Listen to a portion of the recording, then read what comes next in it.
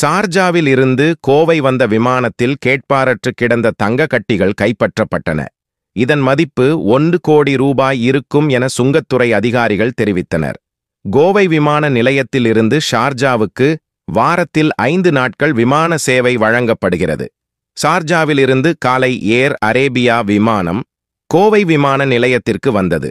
இந்த விமானத்தில் தங்கக் கட்டிகள் கடத்தப்படுவதாக சுங்கத்துறை அதிகாரிகளுக்கு தகவல் கிடைத்தது. இதனை அடுத்து சுங்கத்துறை அதிகாரிகள் பயணிகளையும் உடைமைகளையும் சோதனையிட்டனர். பின்னர் விமானத்தின் உட்பகுதியிலும் சோதனை ஈடுபட்டனர்.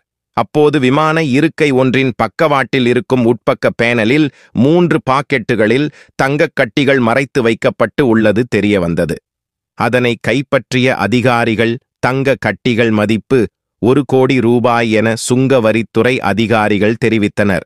பயணிகள் யாரும் அதற்கு உரிமை கோராததால் இது குறித்து தொடர்ந்து விசாரணை மேற்கொண்டு உள்ளனர்.